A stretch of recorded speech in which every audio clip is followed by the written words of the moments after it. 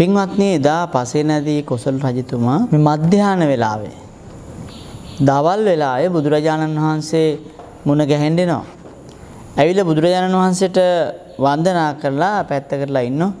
ඒ ඉන්න වෙලාවේ බුදුහාමුදුර අහනවා රජතුමනි මේ මේ මධ්‍යාන වෙලාවේ ඔබ කොහේ ඉඳලා දෙන්නේ කියලා. පස්සේ රජු උත්තරයක් දුන්න ස්වාමීනි මේ අපුත්තක කියලා සිටුවරයෙක් හිටියා. එයාට පුත්තු නෑ ඒකයි අපුත්තක කියලා කියන්නේ. අපුත්තක කියලා සිටුවරයෙක්. ස්වාමීනි එයා මලා. එයාට දරුවෝ හිටියේ නැති නිසා එයා සතු සියලු ධනය රාජසන්තක වුණා. මං ඒවා රජගෙදරට පටවලා කරත්තවලට පටවලා මේ යන ගමන් තමයි ආවේ. ඔබ වහන්සේ මුණ ගැහිලා යන්න.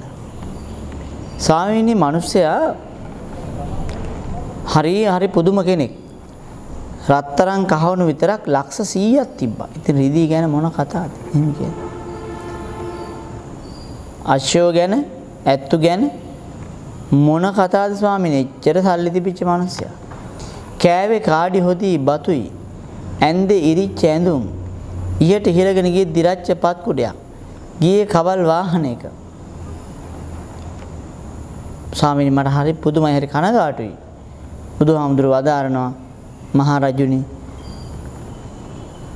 ඔය මිනිස්සයා මින් පෙර කලක තගර සිකී කියලා පසේ බුදුරජාණන් වහන්සේ කෙනෙකුගේ කාලේ ඒ තගර සිකී නම් පසේ බුදුන්ට දානට ආරාධනා කළා ගෙදරට.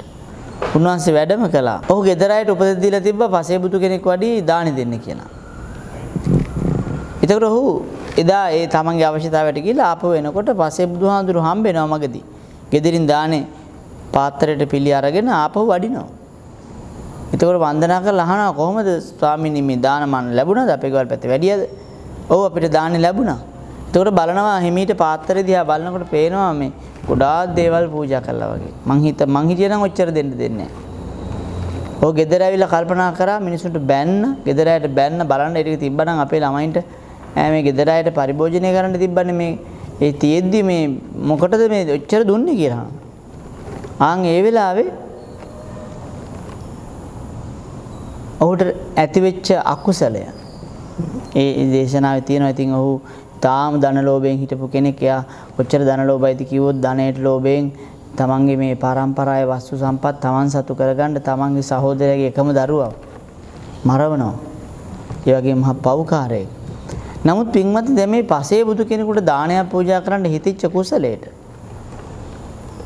හත් වාරයක්ම මේ සවැත් නුවර සිටුවරයෙක් වෙලාම ඉපදෙනවා කියනවා. කියන්නේ සිටු ගෙදරකම උපදිනවා. ධනවත් බලවත් පවුලකම උපදිනවා. හැබැයි වැඩේ කියන්නේ ඒ කොච්චර ධනෙ තිබුණත් භුක්ති විඳින්න බෑ. පින්වත්නි භුක්ති විඳින්න බෑ. උන් පේනව නේද? දන් දුන්නා දුන්නු පින්නට ලැබුණා. හැබැයි දීලා පසුතැවෙච්ච නිසා භුක්ති විඳින්න බෑ. ඔබ අතරත් ඉන්නවනේ දෙහෙම කට්ටිය. මේ ගම් වල නැද්ද එහෙම මිනිස්සු? කවුද? දන් දෙනවා. දීලා පස්සේ අපරාධ එච්චර දුන්නේ කියලා හිතනවා.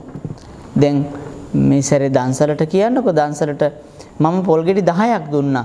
අරගොල්ලෝ නම් 5යි දීලා තියෙන අපරාධය අපිටත් 5යි දෙන්න තිබ්බේ නේද? කියලා කායක හරි කතා වෙනවා. අපුත්තකට වෙච්ච වැඩේ තමයි වෙන්නේ වෙන්නේ. පින්වත්නි ඒ වගේ ප්‍රතිඵල ලබන මිනිස්සු අපිට පේන්නේ නැද්ද අද වෙනකොට? ඔබ දැකලා නැද්ද පොත්වල සල්ලි තියෙනවා. පොත්වල සල්ලි තියෙනවා හැබැයි කන්නේ නැහැ. ගමනක් යන්නේ නැහැ. හොඳ ඇඳුමක් අඳින්නේ නැහැ. එහෙම මිනිස්සු ඉන්නවා. ඒ කියන්නේ ලෞකික සම්පත් උනත් භුක්ති විඳින්න තරම් හිත නැමෙන්නේ නැහැ. ඒවා ඉතුරු කරන්න ඕනි කියලා හිතනවා. අපි දන්න මිනිස්සු කොච්චර ඉන්නවද? මැරෙනකම්ම මහා අපහසුතාව විඳිනවා. බෙහෙත් ටිකක් ගන්න යන්නේ නැහැ මේ සල්ලියයි කියලා. ඒ වගේ නොයෙකුත් අපහසා මැද ඉන්නවා හැබැයි සල්ලි තියෙනවා. ඉතින් සල්ලි කියනවා ඉපදිනකොට ගෙනාපුවත් නෙමෙයි නයි යනකොට ගෙනියන්නෙත් නැත්තම් ඒව හොයාගන්නේ මේ අවශ්‍යතා ඉෂ්ට කරගන්නනේ. ඒතකොට අවශ්‍යතා ටිකත් කයට ලොකු දුකක් දෙන්නෙත් නැතුව මානසික දුකක් දෙන්නෙත් නැතුව ඉෂ්ට කරගන්න ක්‍රමයක් තිය තමන් සතු තියෙනවනම් ඒක අවබෝධයෙන් ඒ පරිභෝජනය කිරීම පිළිබඳ බුදුදහම වරද්දක් පෙන්වන්නේ නැහැ නේ. එහෙනම් පින්වත්නි එහෙම මිනිස්සු ඉන්නවා. එහෙනම් ඔබට ඕන යෝජනාවක් තියෙනවා මොකද්ද? දන් දෙන්න දීලා කවදාවත් කියව කියවෙන්න එපා. පරාදේ පරාදෙච්චර දුන්නේ කියලා. එපමණක් නෙමෙයි පින්වත්නි අපි මෙච්චර දේවල් දුන්නා ඔය පන්සලට. අපි මෙච්චර දේවල් දුන්නා ඔය ඉස්කෝලේට. මෙච්චර දේවල් දුන්නා ඔය සමිතියට.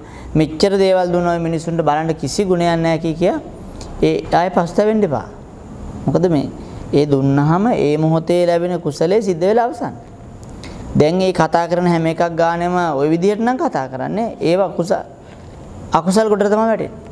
බුදු පියාණන් වහන්සේ වදාරනවා රජතුමනි ඒ කුසල් ගෙවිලා ගෙවිලා ගෙවිලා සිටුවරයෙක් කියලා. දැන් හත්වෙනි වාරෙන් පස්සේ ආයෙනම් සිටු පවුල් වලට යන්නේ නැහැ. මොකද කුසල් ඉවරයි අලුතෙන් කුසල් රැස් කරගත්තේ නැහැ.